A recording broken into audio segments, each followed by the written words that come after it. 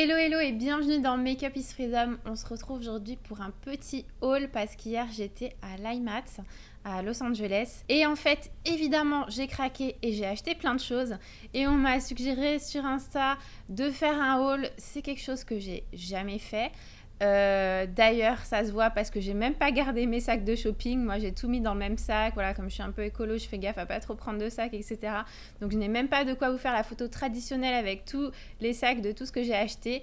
Mais euh, voilà, c'était tout simplement euh, une petite envie de partager avec vous ce que j'ai pu trouver là-bas. J'étais pas forcément allée à l'IMAX pour faire du gros shopping. Évidemment, en arrivant, il y avait plein, plein, plein de choses. Je ne m'attendais pas à autant de choses. Et, j'ai craqué sur plein de choses. Donc, on va attaquer tout de suite. J'ai un petit peu séparé en trois catégories euh, les achats que j'ai faits. Et la première catégorie, c'est vraiment les produits de make-up pur. Donc, euh, je me suis efforcée d'acheter des choses que je connaissais pas, des marques que je pouvais pas forcément trouver à Paris ou en France ou même en Europe. Et je suis tombée sur cette marque absolument inconnue au Basaillon qui s'appelle LS Splash. Et en fait, je pense que c'est un labo qui fabrique aussi pour d'autres marques et qui ont leur propre gamme. Donc c'est assez drôle. Et j'ai euh, craqué sur les pigments et les glitters. Et en fait, elle s'est trompée, la demoiselle, et elle m'a donné ce pigment au lieu d'un autre qui était sublime.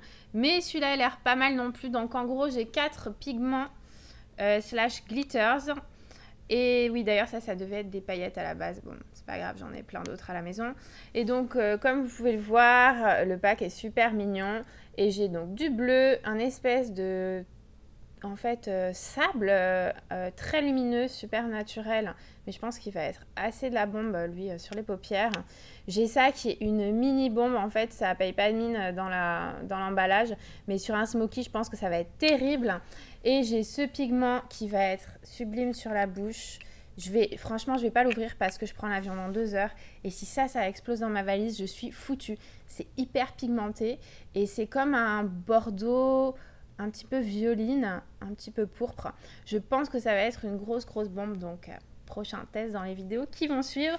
Dans la même marque, j'ai acheté une base à paupières, surtout pour euh, les pigments en fait. C'est comme une, euh, une crème et je vais l'appliquer vraiment de manière hyper légère, comme un voile super léger sur la paupière avant de poser les pigments. On va voir aussi ce que ça donne dans les vidéos qui seront là-dessus. Euh, dans cette marque, qu'est-ce que j'ai acheté d'autre? J'ai acheté un liner qui était un petit peu plus, euh, un petit peu plus épais que les liners que j'utilise. Moi, j'utilise pas mal le Kat Von D, le Tattoo Liner qui est vraiment très fin, l'écriture de Chanel. Donc vraiment, c'est liner... Euh, assez précis et celui-ci est un petit peu plus fat et il a un embout feutre mais pas non plus comme par exemple le Maybelline qui est un feutre mais quand même avec la pointe très fine euh, donc voilà prochain test aussi qui suivra évidemment euh, quoi d'autre? En autre produit cosmétique, j'ai acheté une marque euh, canadienne qui s'appelle Suva Beauty, S-U-V-A Beauty. Et j'ai acheté des highlighters en liquide, ça s'appelle Liquid Chrome Illuminating Drops. Et il y a énormément de teintes. Il y a six teintes dans cette marque. Donc vous avez aussi des teintes pour les peaux foncées. Et moi j'ai pris peau moyenne et peau claire. Puisque j'ai déjà des euh, un highlighter que chez MAC, de chez MAC que j'adore sur les peaux foncées. Et ça ressemble à ça, ces deux petites bouteilles. En gros, il y a un blanc un petit peu doré et un rosé euh, un peu champagne, qui est un peu celui qui est assez universel. Je vais vous montrer quand même ce que donne le rosé. Donc voilà, c'est des, gouttes comme ça. Il y en a beaucoup dans l'emballage. Ça donne ça. C'est vraiment très très très canon.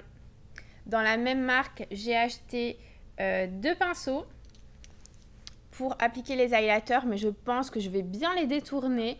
Euh, ces deux poils synthétiques, je me suis aussi efforcée de n'acheter aucun pinceau en poil naturel vu que j'ai vraiment envie de switcher mon kit et de passer mon kit pinceau sur un kit vraiment 100% euh, synthétique. Et ces deux-là sont trop de la bombe parce qu'ils sont très doux, très fins parce que vous savez dans les synthétiques il y a différentes qualités de coupe, de taillage en fait du poil qui fait que le poil est plus ou moins doux sur votre peau. Et ça en highlighter, ça va être de la bombe. Et en poudre, ça va être pas mal aussi. Parce que celui-ci, par exemple, j'adorerais l'utiliser. Hop, ici vraiment juste pour poudrer un tout petit peu avec une poudre fine hyper transparente. Enfin bon bref, ça arrivera bientôt aussi. Donc j'enchaîne euh, du coup sur les pinceaux vu que j'ai acheté, ouais, j'ai acheté que ça en produit. En pinceau par contre, ben voilà. Voilà un petit peu les dégâts. Hein. Il y en a quand même euh, pas mal, comme si j'en avais pas assez. Mais bon, euh, vous savez ce que c'est. Quand on est accro, c'est comme ça. Donc j'ai acheté deux pinceaux chez Akuodo, une marque que vous connaissez si vous suivez mes vidéos. C'est deux pinceaux lèvres, le IL01 et le IS07. Et en fait, il y a un, embout euh, carré, un gros pinceau lèvres carré. Moi, je fais ma bouche au petit pinceau lèvres. Donc là, j'avais envie d'essayer des grands pinceaux lèvres et un grand pinceau lèvres euh, arrondi. Ensuite, ce pinceau éventail, euh, ah oui, alors 12 euh, et 13 dollars. Pinceau éventail, 6 dollars. Voilà, hein, je me suis dit pourquoi s'en passer? Ça va se passer un peu par ici, bien qu'il soit quand même très gros. Mais voilà, je pense que pour balayer les résidus de poudre, pour faire des massages, pour éventuellement faire du corps aussi, il va être super bien. Et ça, ça vient d'une marque coréenne euh, qui, se, qui développe à Los Angeles et qui fabrique en Corée. Donc euh, ça s'appelle euh, soit parce qu'ils ont mélangé avec un truc français, évidemment, c'est toujours plus glamour. La beauté soit. Voilà, mais soit comme soi-même. canon, 6 dollars, du synthétique. J'ai acheté des applicateurs silicone que j'utilise souvent pour appliquer des paillettes. Si vous avez regardé une de mes vidéos où il y a des paillettes, vous les verrez souvent. Mais là, ils sont avec un manche un petit peu plus long. Donc, il y a un applicateur euh, classique et il y en a un liner. Alors ça, franchement, j'avais jamais vu. Donc, euh, prochain essai aussi. Un petit éventail qui était avec le gros éventail de la marque coréenne. Et ensuite, chez... Euh, trop mignonne. Euh, Bebella.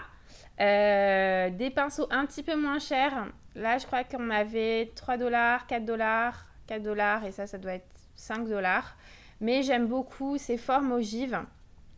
Et franchement, euh, voilà, c'est tout ce que j'aime. Ça va me servir à poudrer, appliquer du teint, appliquer du concealer, vraiment faire mon teint comme j'aime avec euh, ces pinceaux fluffy ogives. Et je pense que ceux-là vont aussi évidemment me servir à blender sur les yeux. Donc, euh, Bébéla et euh, NG43, NG29, NG19, NG22. C'est pas fini, j'ai encore des choses. Enfin, en termes de pinceau, c'est fini. Par contre, en termes d'accessoires, ça continue parce que j'ai acheté des pinces à épiler et aussi une pince pour appliquer les fossiles.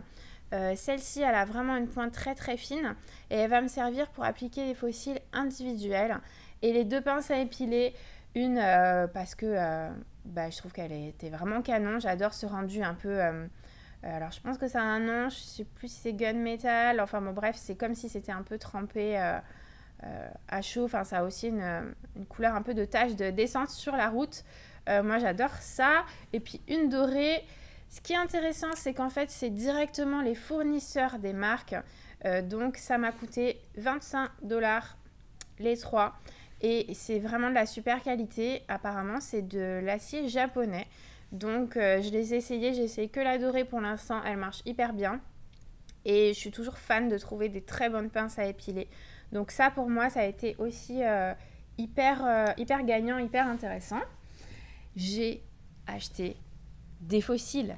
Mais des fossiles à l'américaine. Vraiment, des fossiles qui sont conçus à Los Angeles, qui s'appellent Lava Lashes Los Angeles.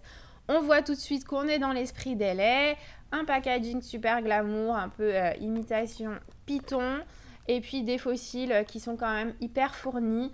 Pourquoi j'ai acheté ces fossiles? Parce que je fais de plus en plus de célébrités, et c'est vrai que franchement, c'est quasi uniquement sur une célébrité que je vais poser des fossiles. Souvent, je pose des individuels, 90% du temps. Et des fois, quand c'est des filles qui sont habituées déjà à porter des fossiles ou euh, voilà, qui ont envie d'un truc un petit, peu plus, euh, un peu plus spécial, un peu plus fort, je pose des fossiles et ceux-là sont de très belle qualité. ils sont vraiment euh, hyper fins, voilà, construits de, de, manière à être très naturelle, à bien se mélanger avec vos propres cils.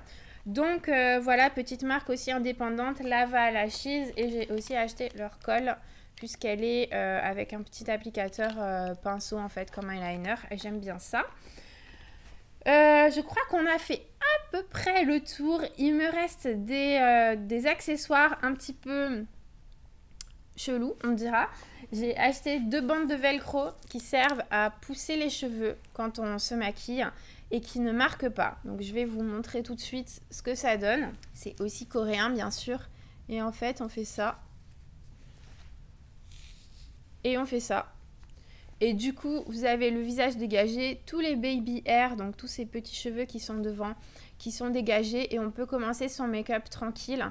Euh, je l'ai acheté pour euh, les backstage parce qu'en fait, c'est surtout quand on le retire, ça ne fait aucune marque.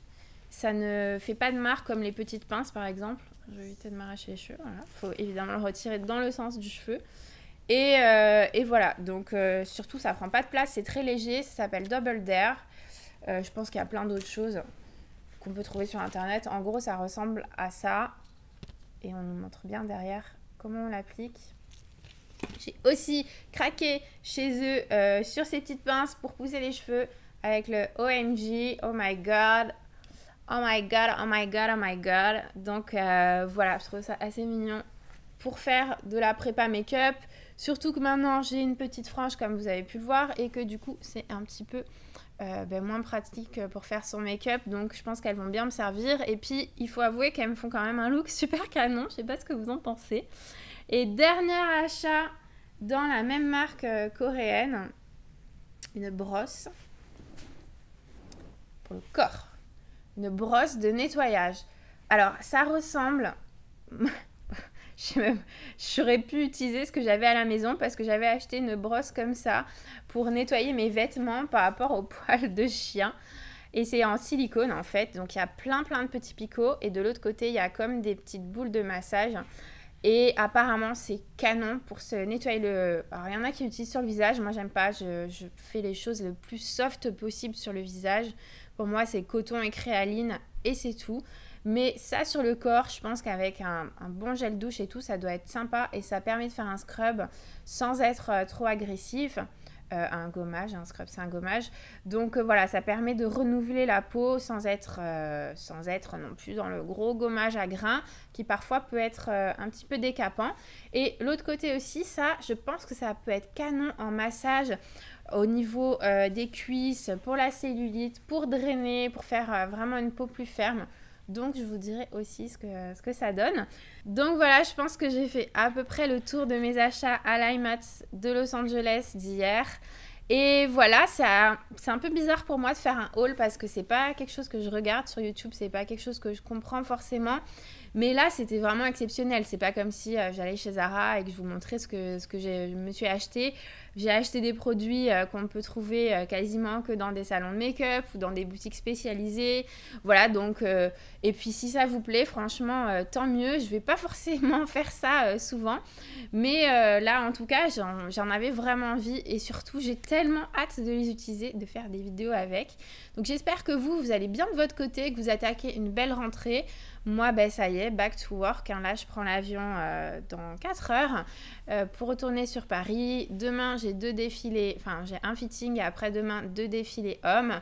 Et puis voilà, on va se remettre tranquillement dans le rythme de la nouvelle année 2018. Je vous souhaite plein de belles choses pour cette nouvelle année. Euh, comme d'habitude, je vous dis, le maquillage, c'est la liberté. Alors éclatez-vous. Des très très gros bisous. À très vite. Ciao